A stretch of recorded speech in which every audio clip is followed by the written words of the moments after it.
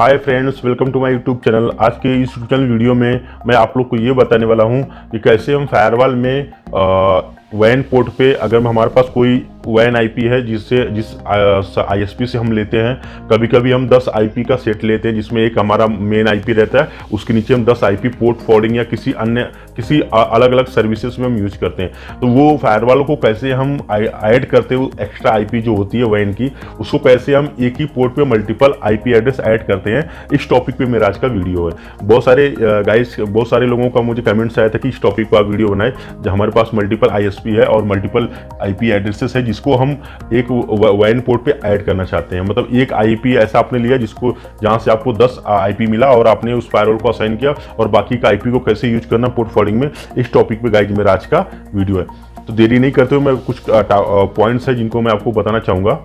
Guys सबसे पहले आपको नेटवर्क में क्लिक करना है। नेटवर्क में क्लिक करने के बाद पोर्ट बी हमारा वैन है। पोर्ट बी का वन आईपी है। 192, 168, 244 dot ninety nine and subnet है। अब इसमें हम चाहते हैं कि एक और हमारा आईपी ऐड हो जाए। पब्लिक आईपी जो हमारे इसी नेटवर्क का हो। गाइज़ ये मैं फॉर एग्जांपल के लिए बता रहा हूँ, इसमें आपको ऐसा ये मेरा रियल आईपी एड्रेस नहीं है। जस्ट मैं आपको समझाने के लिए बता रहा हूँ कि किस प्रकार से आपको यूज़ करना है।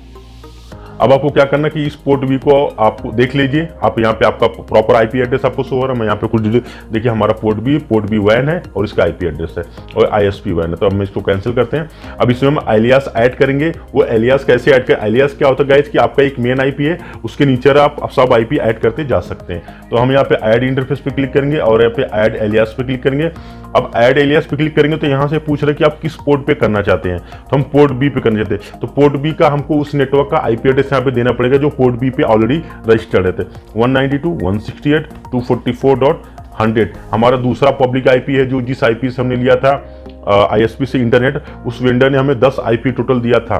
तो वहाँ से हमने एक आईपी और यूज़ कर लिया। तो अब हमारा टोटल आईपी कितना यूज़ हो गया? दो आईपी हो गया।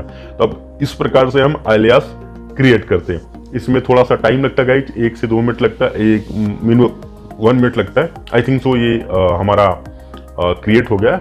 इंटरफेस क्रिएट पोर्ट भी क्रिएट होगा एलियास तो अभी बेसिकली इसमें क्या होता है कि आप चाहते हैं कि अब जैसे यहाँ पे आप देख सकते हैं कि हमने पोर्ट बी पे एक नेटवर्क और कनेक्ट कर दिया। देखिए, अब यहाँ पे पोर्ट बी हमारा है, अब पोर्ट बी में एक और पोर्ट हमने जुड़ किया पोर्ट बी पॉइंट ज़ीरो अब क्या हुआ कि हम चाहते हैं कि हमारे पास दो पब्लिक आईपी है एक पब्लिक आईपी से हम दूसरा सर्वर फॉरवर्डिंग करना चाहते हैं, एक पब्लिक आईपी से दूसरा कर सकते हैं। इसी प्रकार से आप यहाँ पे ऐड पे क्लिक करने के बाद ऐड एलियास पे क्लिक करना आपको है।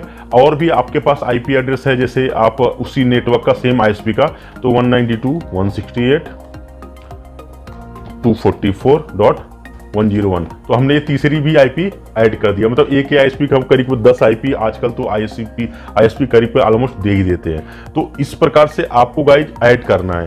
तो इसमें मुझे नहीं लगता कि आपको कहीं प्रॉब्लम होगी। देखिए, यहाँ पे बता रहे interface alias port B has been added successfully तो हमारे पास आईएसपी था, जिस, जहाँ से हमको पोर्ट फॉर्डिंग करना था।